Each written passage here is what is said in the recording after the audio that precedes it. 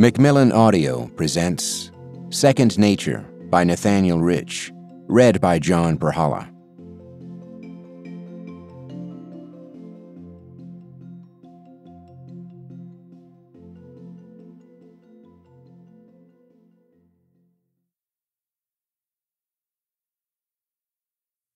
Introduction Strange Victory Fort Bragg's Glass Beach is the most popular attraction on the northern California coast. It receives more visitors than the Lost Coast, through which steep trails navigate cloud forests, waterfalls, and ocean panoramas. It gets far more traffic than the Mendocino Coast Botanical Gardens and Mendocino Headlands State Park. From the parking lot off Glass Beach Drive, tourists descend a steep staircase between Greywacke cliffs to photograph a narrow cove that sparkles with turquoise and brown and ruby shards, buffed and rounded by the surf. Posted signs beg visitors, a couple of thousand a day during the summer, not to pocket the glass. But they can't help themselves. In 2012, J.H. Cass Forrington, a retired sea captain and the owner of the nearby International Sea Glass Museum, which displays more than 3,000 poached pieces, led a campaign to replenish the beach with tons of broken glass. Forrington's argument rested on an ecological claim. Because the sea glass, which created habitat for microscopic marine life, had integrated into the local ecosystem, it deserved the same protections granted to the coast redwood, the mountain beaver, the red legged frog.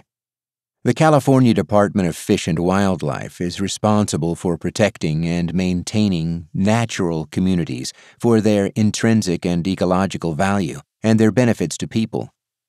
The fate of Glass Beach hung on the definition of natural. Forrington argued that California was legally bound to dump more glass on the sand. To say the glass is not natural is simply wrong, he wrote in a manifesto littered with an unassailable profusion of quotation marks. Because of the damage we can do to an overall habitat, we tend to think of ourselves as being somehow unnatural and outside of nature.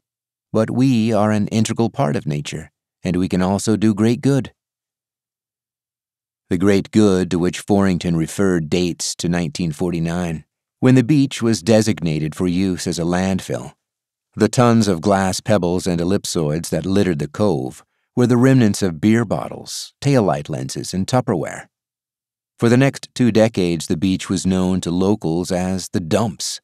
The only way to regain the beach's natural beauty, wrote Captain Forrington, was to bury it every year under a few more tons of trash. In the end, the Department of Fish and Wildlife was unpersuaded by Captain Forrington's definition of nature it declined to intervene. Forrington would not be so easily defeated, however. In defiance, he continued to sell plastic bags of pre tumbled glass to tourists who lugged them down the wooden stairs and emptied them onto the sand. Captain Forrington believed he was doing his part to save nature, or at least nature. Long after the last copy of the King James Bible has disintegrated and the Venus de Milo has gone to powder, the glory of our civilization will survive in misshapen, neon flecked rocks called plastiglomerate, compounds of sand, shells, and molten plastic forged when candy bar wrappers and bottle caps burn in campfires. Additional clues will be found in the ubiquity of cesium 137, the synthetic isotope produced by nuclear detonations a several thousand year diminution in calcium carbonate deposition, the consequence of ocean acidification and glacial ice cores, should glaciers remain, registering a dramatic spike of atmospheric carbon dioxide. Future anthropologists might not be able to learn everything there is to know about our culture from these geological markers, but it will be a good start. In the beginning, human beings tended to view nature as a mortal enemy, with wariness, dread, and aggression. The war began before we had even bothered to name our enemy. Already in the earliest literature, the assault is well underway, the bellicosity raw, the motives unquestioned. In The Lord to the Living One's Mountain, Gilgamesh, terrified of death, decides he must perform a heroic feat to achieve immortality. As he can imagine nothing more honorable than the destruction of a virgin forest, Gilgamesh travels to the sacred mountain of cedar, beheads the demigod who defends it, and razes the forest to stubble, reserving the grandest tree for use as a gate to his city. About 17 centuries later, in Plato's Phaedrus, Socrates, reluctant to venture outside Athens' city walls, declares, I am a lover of learning, and the outdoors and trees have never taught me anything, whereas in the city there are people, and they do teach me. Aristotle is more direct in politics. Nature has made all things specifically for the sake of man. In the Old Testament, the wilderness is a godless domain, the anti Eden, as in, He led you through the vast and dreadful wilderness, that thirsty and waterless land with its venomous snakes and scorpions. Wilderness from the Old English ness plus wild plus deor, the place of wild beasts. Samuel Johnson defined it as a tract of solitude and savageness. William Bradford, a founder of Plymouth Colony, reacted to the New World with horror, calling it hideous and desolate, full of wild beasts and wild men. The most widely collected work of the Enlightenment, Comte de Buffon's 36 volume Natural History, proliferates with words like grotesque, nauseous, pestilential, terrible, and filth. Nature invited subjugation for its own good. The American jurist James Kent extended this conceit to the human beings who had lived for millennia in harmony with the land as he sought to construct a legal basis for seizing territory from Native Americans. The continent, Kent argued, was fitted and intended by Providence to be subdued and cultivated, and to become the residence of civilized nations. The gospel of nature was a license to dominate, brutalize, and pillage, and feel proud of it. Some of these examples come from Roderick Nash's totemic history, Wilderness and the American Mind, which describes how, finally, in the 19th century, the terms of humanity's relationship with nature flipped. Scientists and philosophers began to question the premise that nature was a threat to civilization. They'd had it backward. Civilization was a threat to nature. It had become obvious that humanity was winning its thousands year war against nature in a rout. It was a costly victory, however. The prize was civilizational collapse. This understanding was first articulated by Alexander von Humboldt, who was born in 1769 during the era in which human beings stopped fearing nature and took pride in their ability to master it. It was the age of the steam engine, the smallpox vaccine, the lightning rod. Timekeeping and measuring systems became standardized. The blank spaces remaining on world maps were shaded in.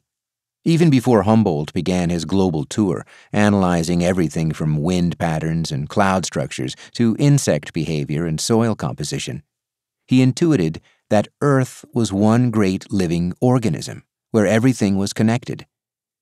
It is commonplace today to speak of the web of life, but the concept was Humboldt's invention. It followed that the fate of one species might have cascading effects on others. Humboldt was among the first to warn of the perils of irrigation, cash crop agriculture, and deforestation.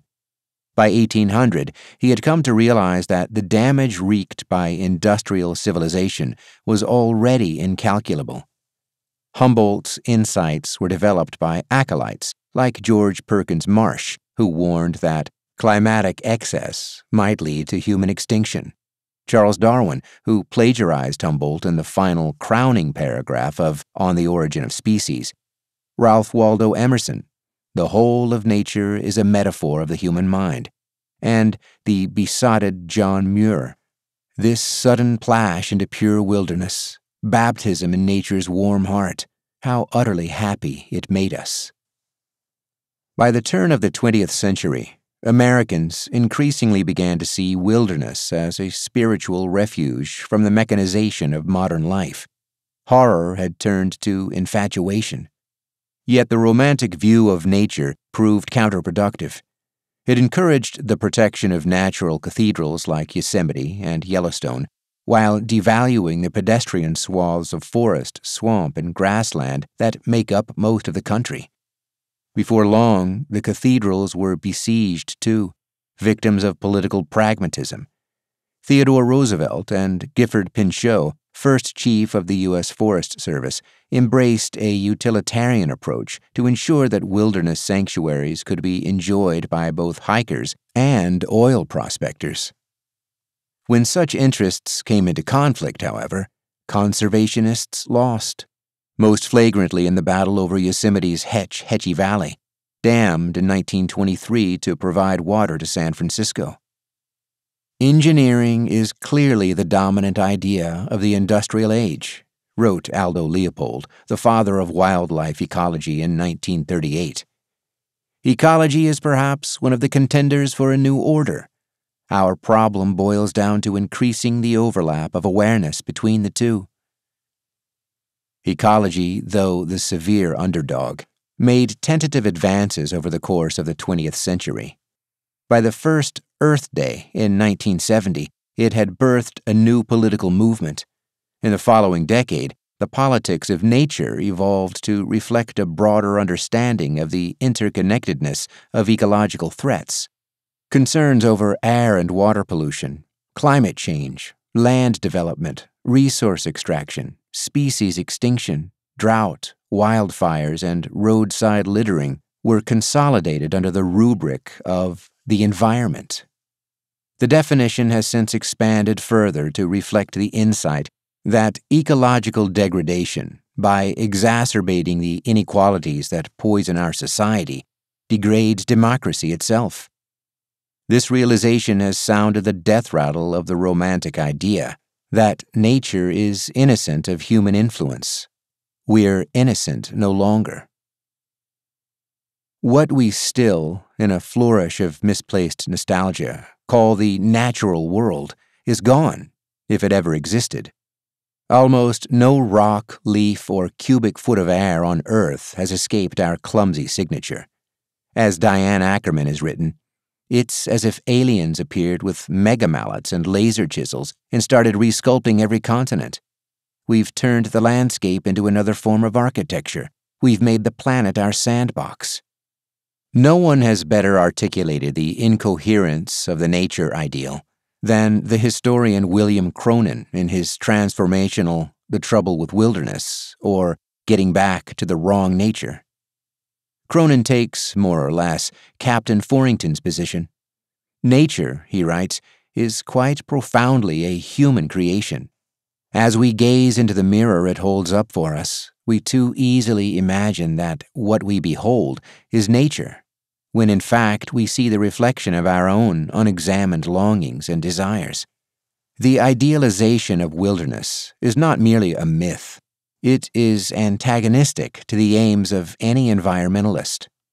For if in the future something resembling wilderness is to survive, it will be only by the most vigilant and self conscious management. Our most prized wilderness areas are already the beneficiaries of governmental regulation, political compromise, and the constant round of interventions euphemized as land management. Even the rewilding movement, which preaches benign neglect to allow nature to recover at its own pace, acknowledges the need to meddle.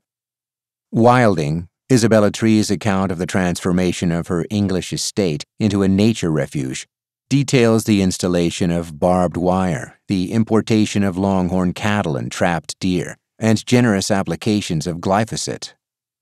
The most ambitious rewilding project, the biologist Edward O. Wilson's proposal, set forth in Half Earth, to designate one half of the planet a nature preserve, is based on the proposition that we have become the architects and rulers of the Anthropocene epoch, an echo of Descartes the lords and possessors of nature, and must take responsibility for it.